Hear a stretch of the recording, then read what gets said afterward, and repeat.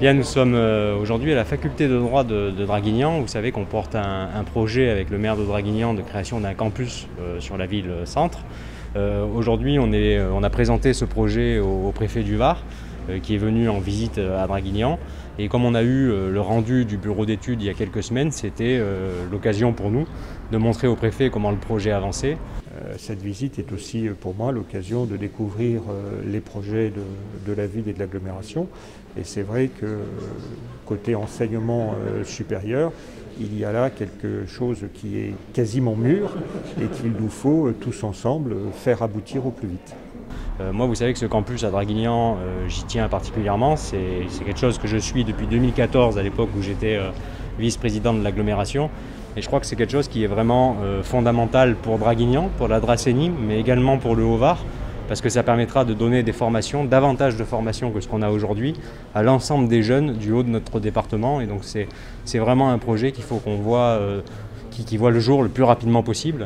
Créer un pôle d'enseignement supérieur et de la recherche à Draguignan, pour la jeunesse de Draguignan qui a besoin euh, tout de suite après le bac, ou bien alors en reprise d'études, d'avoir les formations à disposition qui leur permettront bah, de, se former pour euh, des professions diverses et variées, permettre un véritable maillage du territoire pour que l'ensemble de la jeunesse, au niveau de l'ensemble de la région, puisse euh, répondre à ses aspirations les plus légitimes.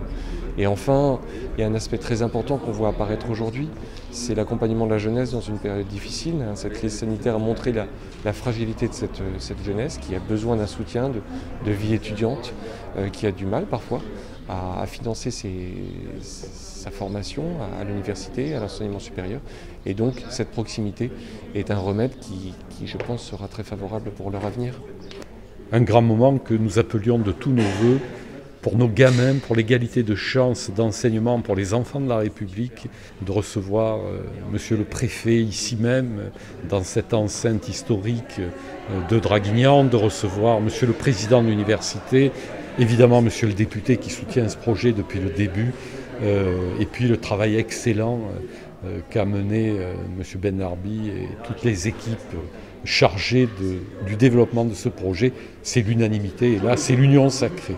On est en bonne voie pour avancer. La prochaine étape, ce sera au mois de juin et avec le maire, on sera en mesure d'en dire plus dans, les mois qui viennent. Mais je tiens absolument à ce que ce projet euh, émerge le plus rapidement possible.